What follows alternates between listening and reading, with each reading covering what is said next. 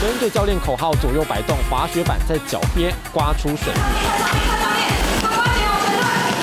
学员姿势错误，教练立刻提醒。这是室内滑雪机，年前课程全被排满，不少人想抢出国前再精进滑雪技巧。最近有打算出国？有啊，下礼拜就要走，赶快来临时抱佛脚一下。来这边你先练基本动作，学会再去玩会比较快乐。想出国滑雪，无需教练也能畅滑。无阻业者引进这台滑雪机，模拟雪地现况、坡度、速度都能调。雪机上面它虽然有速度，但是它不会有一种下坠的感觉，对。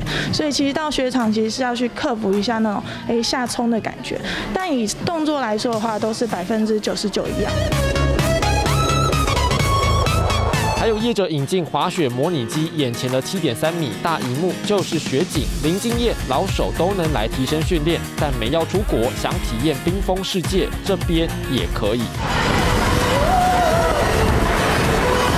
不知道去哪边玩耍吗？其实不妨呢来到呢这个室内的滑冰场来滑滑冰。但如果呢你像我这个初学者来说啊，其实呢如果你只要站稳不摔倒的话，你就要先在场边练习至少超过十五分钟。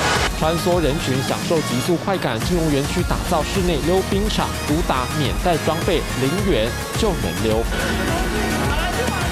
免出国，不用上高山，台北市也能堆雪人。园区打造冰上电玩世界，年节也能亲子同乐。三立科周冠宇、汪生伟、邓登奇台北报道。